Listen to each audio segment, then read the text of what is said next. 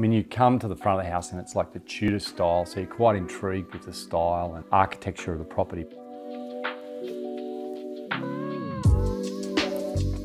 whilst it's got this old school feel about it, it's old school, but it's got the modern uh, touches now with the new kitchen and ensuite and the carpets, and it's just great.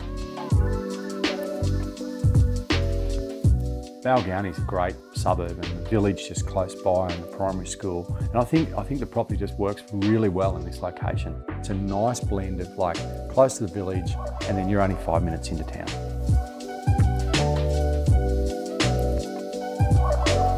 Just with regard to the space of this home, you really have to get inside and understand just how big this home is. Really unique loft upstairs, but there's just so much versatility in the floor plan here. Come and check it out.